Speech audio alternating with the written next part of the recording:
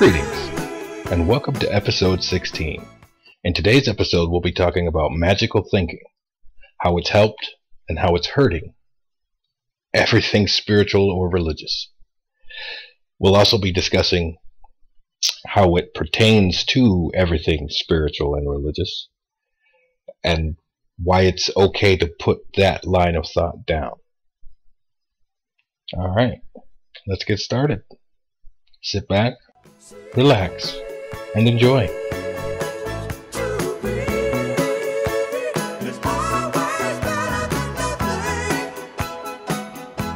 So, magical thought. Uh, how to recognize it in your life, first of all. Any line of thought that says hopes and dreams and faith will conquer everything without any participation on your part other than having faith and dreams and hope. That's magical thinking. And it's good to have faith and it's good to have dreams. I can't go in with you on the hope. I, I this is how I view hope.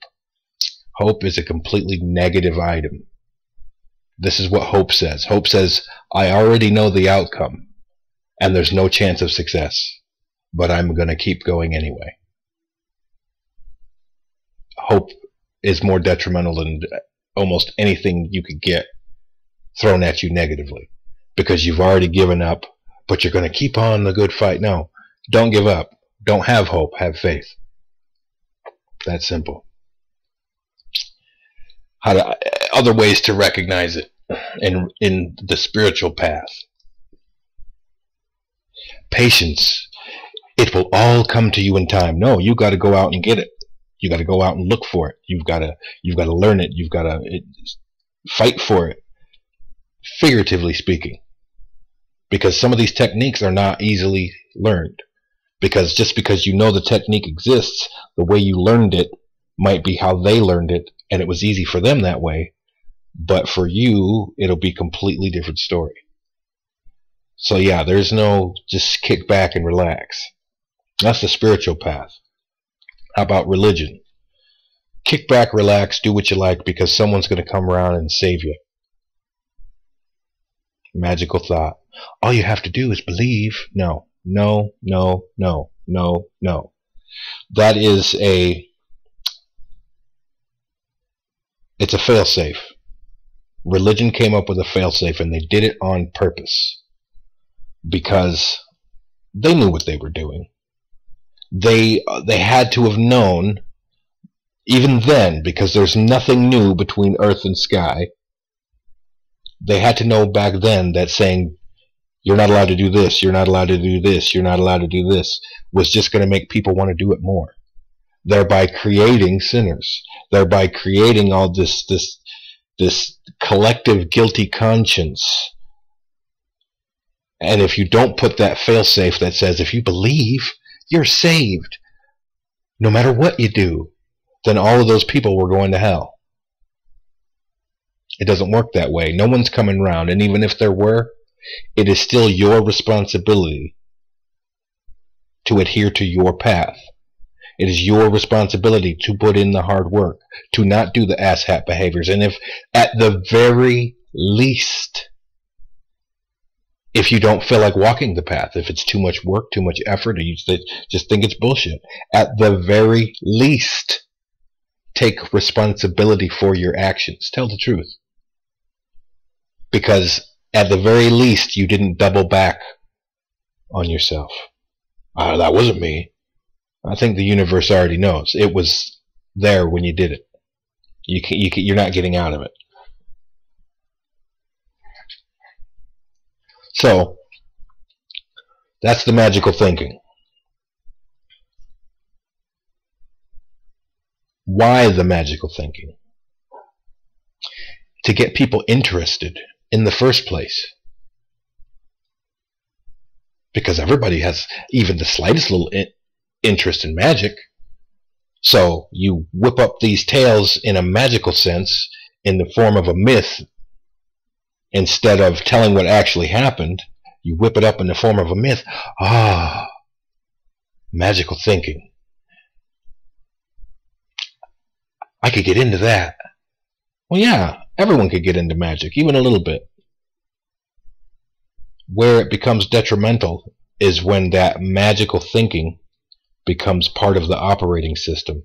And anything that doesn't fit along the lines of magical thinking, that removes you from the hard work, is discounted. I was told there was no hard work. I was told that it would all be taken care of. Some guy's going to come down to the planet and save me later. No, no, no.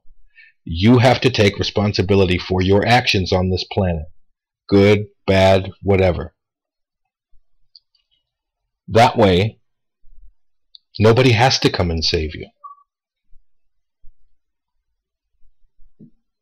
That way, you're already taken care of. And all you got to do, you can go meet the guy, sure. But that's all anyone's going to get to do anyway. When you say, hey, take my sins, he's going to say, yeah, right. and you're going to be sitting there wondering why. Because you adhere to that magical thinking that everything's okay as long as I believe. It doesn't work that way. I'm not going to carry your weight. I would never ask you to carry my weight. So what you have there, like I said, magical thinking very detrimental. How many of these souls are going to be lost simply because when they get to that point and realize that just because they believed in somebody, they're not saved? You were never supposed to worship the teacher. You were supposed to do what he said. But instead, because of the magical thinking, oh, we, none of us can do magic. Look where he's sitting because of the pedestal that that magical thinking put those teachers on, suddenly we can't attain it, so we worship the person instead of what they said. What they said is no longer important because you'll never get there anyway. What's the point? Well, if you read what he said, every one of us is supposed to get there. Every one of us. As long as you find the path, start the path, and stay on the path, you'll get there eventually. That's just a fact. Well, what about all the magic? It was not magic. It's all these abilities are, are, are scientifically proven. Jesus walked on water. That's levitation. That's provable. There's people that can levitate now. Levitate objects. Turn water into wine. That one I'm not so sure about, but my uncle did turn 7-Up into champagne once. Non-alcoholic, but it still tasted like champagne. So that could be as simple as alchemy. So the the rising from the dead. Now that that's a stretch because there's a Bible that they found that's like a thousand years old or twelve hundred years old or whatever that states that Jesus never died and was married and had children. Jesus died of old age, not being cruci- not of being crucified. That stuff was just added, and not only was it added, it was taken from other stories, much older stories. So, and our historians give us insight into the, the, the mindset and thinking processes of the people of the, that, that era of those times. So we can understand where their magical thinking comes from. I can't begin to fathom where the magical thought process comes from all the way back as far as Sumer, or as some would like to argue, Atlantis or Mu. I can't, I can't fathom it. If you view it as magical thinking, if you look at it as science, Perhaps this is, as I said in my previous videos, a path of evolution for the entire species, not just one man, was set here to put us in the right direction. And instead of saying, let's follow his directions, we say, oh, the dude showed up. Oh, yeah, he showed up. He showed up. He showed up. And we spend 2,000 years celebrating that, hey, he showed up. He showed up. He showed up but nobody remembers what he said. And the people that do remember what he said don't follow what he said. And anyone that dares stand up and say, well, you're wrong, oh, that person's just going to get burned at the stake. The operating system, in my previous three part series, I said that the operating system is what's faulty. And that's what's faulty because you can read the Bible and get what I get out of it if you stop seeing the magic and start seeing the science. Start seeing that, wow, it's really a path of evolution. Because you're not going to be able to levitate until you're that far along. You're not going to be able to have a mind to turn water into wine, even if it is just alchemy. You're, you're not going to be that far along if you just sit there stagnant like a lump on the side of the road with your magical thinking and believing, and as long as I believe, I'm saved. That's, it doesn't work that way. I live in Arizona. I dare you. You take your beliefs and your faith, you go out in the middle of the desert and see how far that gets you. I'm going to go out in the middle of the desert too, but I'm going to have a backpack full of water, beef jerky. we'll see which one of us makes it. and that's that's the, the spiritual path. That's life. Science is going to save me if I eat I'm good. If I take in fluids, I'm good. And I don't even really need to take in food. I just really need to keep up on the fluids if I'm out in the desert.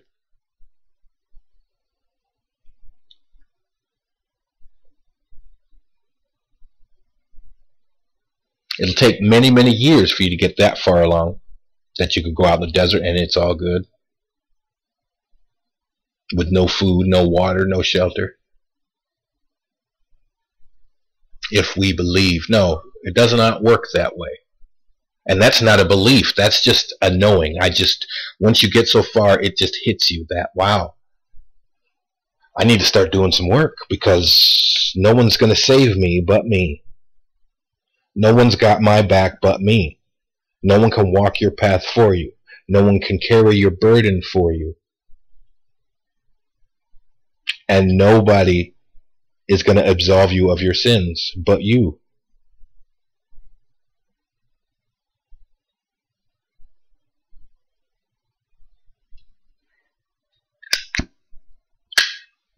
Here's one of my sins smoking. But I take responsibility for it. I don't pretend some magic guy is going to come down from the sky and say, hey, you smoked, but it's cool. No, I should quit. And I'm going to. I just haven't quit yet. This is one of those things I was talking about in the last video that it's in there and I'm cool that it's in there, but I'm also cool with that I'm, I want to get rid of it. It no longer serves me. It's not magical thought. If I have faith, God will take it away. No. if I decide I'm going to quit, I'll just stop buying them and smoking them. My work, my effort. It's not God's job to perform the actions that get the job done for you. There are 7 billion people on the planet. How fair would that be if he catered to your journey and only your journey? Because that's how much attention he would have to pay to you to make sure you don't ever slip and fall, don't ever make a bad decision, and don't ever go down the wrong road. He would have to focus completely and primarily on you. And what about the rest of us 7 billion? Take responsibility for your for your actions. Take responsibility for your journey. No magical thinking. It's infiltrated the spiritual path just as much as it's infiltrated religion.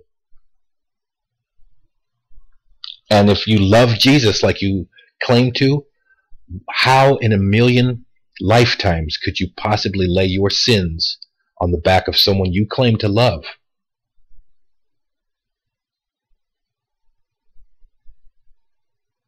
I couldn't lay my sins on my kids. I couldn't lay my sins on my wife.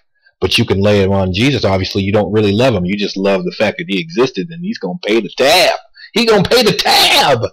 That's what it is. If life was a was a restaurant or bar, somebody told you that someone will come around at the end and pay for everybody's tab. Really? Do you really think that's how it's going to happen? Do what you like, buy what you like, eat what you like, drink what you like, someone else is paying.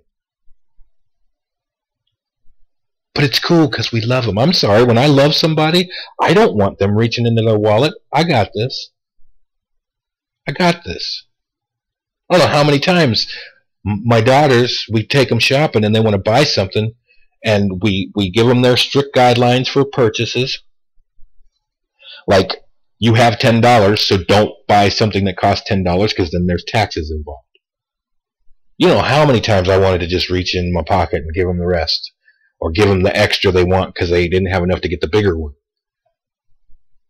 But they need to learn the rules of spending so they'll know it when they get out in the world. Nobody taught it to me.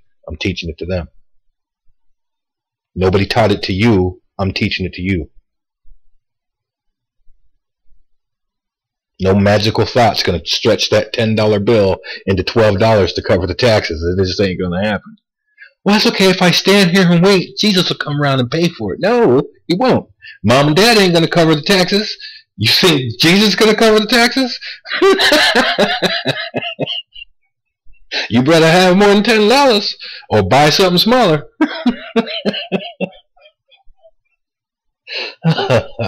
Take responsibility for your actions. I can do what I want because I'm not perfect. And Jesus said that because he knows you're not. No, no, no, no. We all know you're not perfect. Why is it that I'm okay with not being perfect, but you're not? It's okay that you're not perfect. You weren't put here to be perfect. You were put here to experience life. And that's what you did. And now you feel guilty for it. But that's okay because Jesus is going to come around and pay for it. What? I went to the bar and they said, don't eat this and don't drink the liquor. And I, I ate that. And I, I had a couple of shots. But Jesus is going to come around and pay for it. No, no, he's not. Pay, pay for your food and your drinks and let's go. We're running out of time. but if I pay for the food and the drinks, then I'd have to admit that I had the food and the drinks. And then, oh, yeah. think about what you're saying. God won't know until unless I pay for it. So if I make somebody else pay for it, that's okay. No. You think God doesn't already know you did it? Pay for your stuff and let's go. Magical thought. And so many people trapped in a negative spiral of guilt, a negative spiral of neuroses, a negative spiral of of fear, negative spiral of just a negative spiral based on magical thinking. We'll never be like Jesus, so I'm going to do what I want, but I'm going to feel guilty about it as part of my punishment. And then instead of walking the path and trying to fix it, I'm just going to keep feeling guilty because Jesus is going to come and save us. And on spiritual path is worse because they know that nobody's going to come around and save us. Well, that's not true. Some people think, well, the fifth and tenth and ninth and twelfth dimensional entities will come down and save us. No, they're not good. Nobody's doing nothing unless you can prove that you're willing to put forth the effort yourself. Why would I be willing to cover the taxes on my daughter's $10 purchase? Because at least she has the $10. Why would I be willing to kick in an extra five bucks so she could get the bigger item? Because at least she has the main portion of the balance.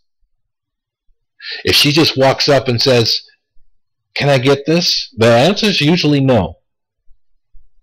Well, where's your money? I don't have any. Well, I have a dollar. That's a $20 item. You have a dollar. You, you, you're not even covering the taxes at that point, child. You have to be able to prove you can put forth the effort, or are willing to put forth the effort. Put down the magical thinking. See it for what it is. The religion, the spiritual path, all of it. It's just a means by which a species evolves, moves up Jacob's ladder, ascends to the higher realms. Whatever you call it, that's what these paths are for. Nobody's going to do it for you. Nobody. Nobody's paying for the trip. Nobody. Nobody's paying for your supplies. Nobody. You decided you wanted to join this path. The path has a certain cost to it. If you don't adhere to your path the, and do what you know you're supposed to be doing, there's a certain cost involved. Nobody's paying for that but you. Jesus didn't walk your path. Jesus, you're gonna, hey Jesus, you got my nachos?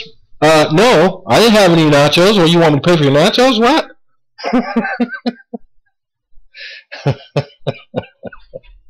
That's not how it works.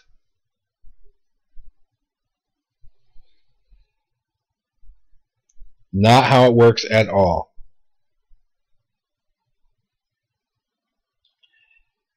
No one's paying for your journey. And why would you want them to?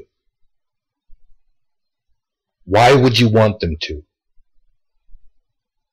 Our whole society, it seems like, everything in our society is geared toward shifting the blame elsewhere, shifting the responsibility. Even if you can't shift the blame, it's allowable and legal to shift the responsibility to somebody else. I got into a car wreck because I was drunk, but it's the bartender's fault for serving me drinks. What? No, it's your fault for going and leaving the bar and getting in your car and driving away.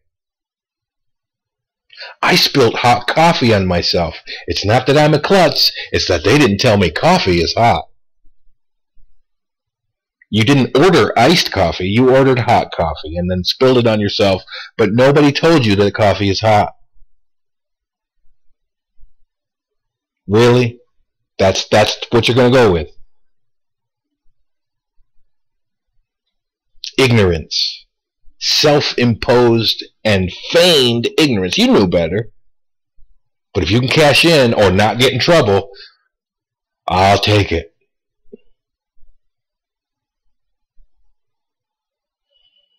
Nobody wants to take responsibility for anything, and the whole system is based on that and is designed for that. And like that's what keeps it running. It, it, that's just not the way it is. Not if you're on a spiritual or religious path and following it earnestly. That's not how it works. That's not ever going to be how it works. That magical thought is to the detriment of us all. Because those of you with that magical thinking, that old archaic 2,000 year old operating system, are holding the rest of us back.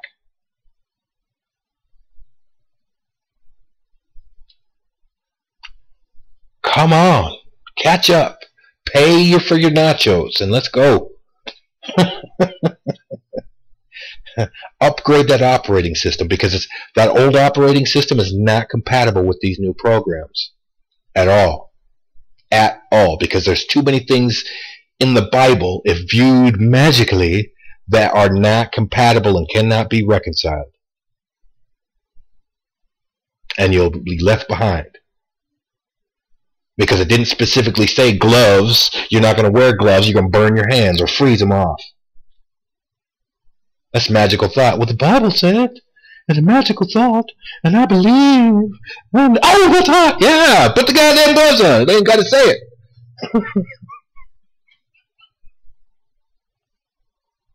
Man, people are just, and they're crazy about it too. I'll go burn down a building, blow up a building, pick at a funeral over some 2,000 year old archaic beliefs. Because that operating system is what you view the world through. Just like your computer, everything has to be compatible with that operating system or it doesn't get to go on the computer. The same thing works for your subconscious mind. That's your operating system. And until you upgrade it, you're only going to see what you're able to see through those filters. And with 2,000 year old filters, they had no idea that we were going to figure it out back then. They had no idea that life would be the way it is today. You think if they knew that, we were going to have automobiles today, they wouldn't have had them back then? Do you honestly believe that?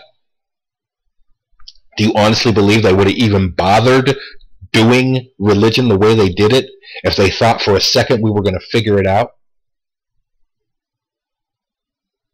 I don't think so. Because that's not how man thinks. Man would have found a different way to control the people. And they would have left them to their religion, to their spiritual path. And we would be a much different race right now. Our species would already be where we're supposed to be. Where are we supposed to be? At least. Not only, but at least as far along as Jesus was back then. That's where we're supposed to be.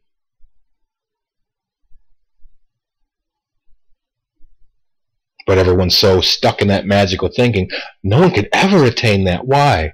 Why is that? Why can no one ever attain it when he says right there in the Bible that you can attain it? And that was the whole point of him coming here, was to show you how to attain it. But the way it was taught was, those are just words. Listen to me. Wait a minute. Wait, wait, wait, wait, wait, wait. Didn't it say in the Bible that if you change the Bible, that you're going to go burn in hell? Technically, they didn't change the Bible. They left it in there. They're just telling you it's bullshit. Do what I say.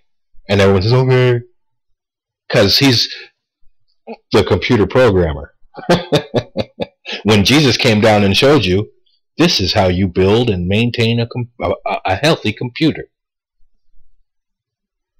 Jesus was nothing more than God's IT. and they killed him for it. Anyone that's ever had anything important to say that went against the grain anyone actually walking the path and doing their stuff has been killed outright. Just killed. That type of thinking isn't going to work anymore either. Because you, it's going to eventually come to a head and you can't kill us all. And if you do, then you've got really no reason to be in charge because you've got no one to be in charge of. So, who knows? You put down the magical thinking, it becomes science. Because science can validate almost everything in that book. Almost everything in that book. But to see it, you have to change your operating system to allow for the new information, to allow for the new programs to run, you'll sit and fight off all this new programming in favor of magical thinking? We're supposed to be moving away from superstition and into enlightenment. And everyone walks around, I'm enlightened. I've reached enlightenment. Oh, yeah. I never trust a person that tells me they've reached enlightenment. Never. That's not something for you to decide that's something for those that come to you for learning to decide if you're enlightened or not. Just like the magical thinking, you have to be perfect to be a righteous man. And, oh, no. you could be an asshole and a sinner and still be a righteous man. You know what it takes to be a righteous man? And this is speaking in terms of the Hebrew Talmud. You know what it takes to be a righteous man? You just have to be you have to be honest, brutally honest with yourself and everyone around you. That's what a righteous man is. You don't even have to be a nice person, and you can even be a sinner. Because if your word is trustworthy, God will have no problem speaking to or through you. There is not one law that says you have to be a nice person. Because you can be an asshole and still share your food. You can be a sinner and still do nice things for people. It's that magical thinking. Oh, no, no. You can only be righteous if you're kind and generous and perfect. No, nothing could be further from the truth. You'll never get where Jesus was at only because you keep saying that. If you think we're never going to make it, you're right. If you think we're almost there, you're right.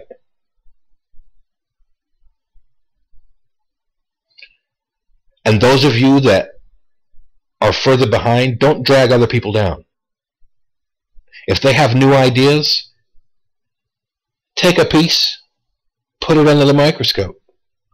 Don't just shut it down out of hand and then try and explain to them why they're wrong and talk them into thinking they're wrong. Because they don't follow your old 2,000 year old program. Put it under the microscope. Do some research You'll find it. I guarantee it. It took me a while to put down the magical thinking because I wanted it to be magical. Because I wanted it. That's part of the reason why I started this path. I was going to be a wizard.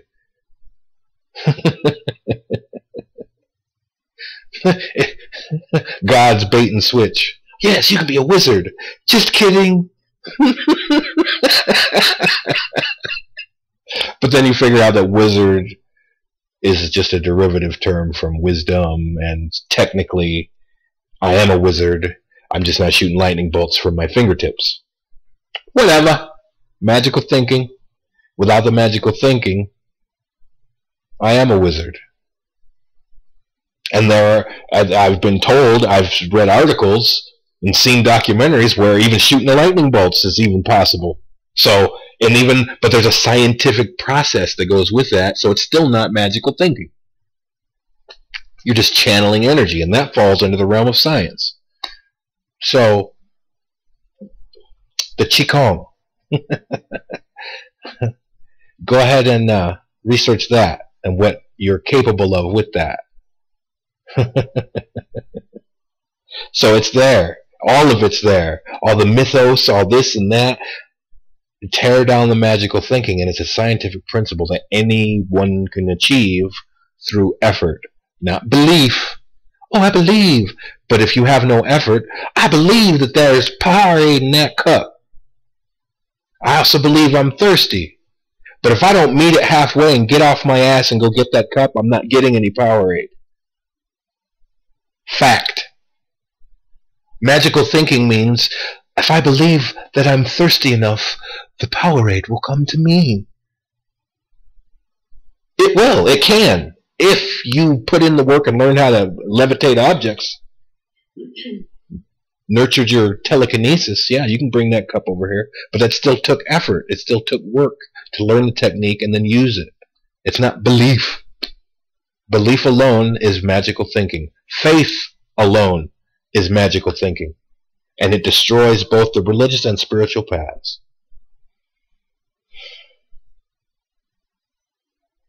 Alright, that was a good one.